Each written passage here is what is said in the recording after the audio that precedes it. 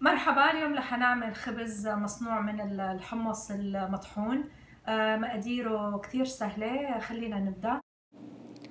آه بدنا طحين لوز آه حمص بودرة زبيب حبوب. أي حبوب بتفضلوها؟ أنا استعملت حبة البركة وسمسم. ملح زيت زيتون خميرة مي فاترة وبيض. أول شي بديت آه، حطيت الخميرة بالمي لحتى تبدأ تتفاعل.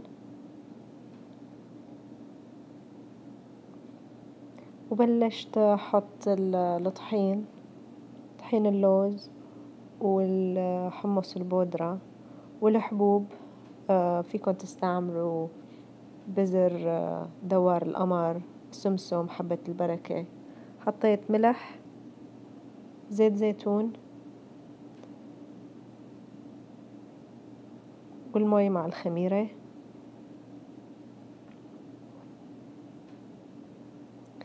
آه، عندكم الخليط رح يكون آه، مريء. معلش. آه هذا هذا اللي بيعطي الخبز طراوته وبيكون خفيف. هون عم ورجيكم إني حطيت الزبيب أي أي شي زبيب جوز أي شي بتحطوه بخبز أو بكيك دائما حطوا معلقة طحين معاه لحتى آه، ما يترسب بسفل القالب اللي عندكم آه، هيك بخليه متجانس مع مع الخليط كله.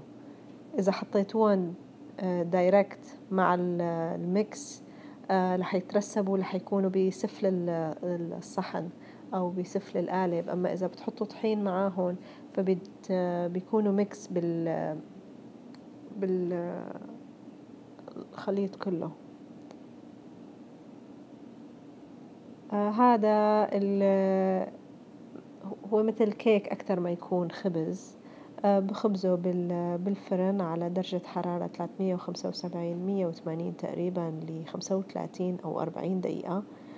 آه هذا الكيك كتير ظريف للي عم بيخفف وزن أو عنده ألرجي أو حساسية من الطحين أو آه حابب يجرب آه، شي جديد.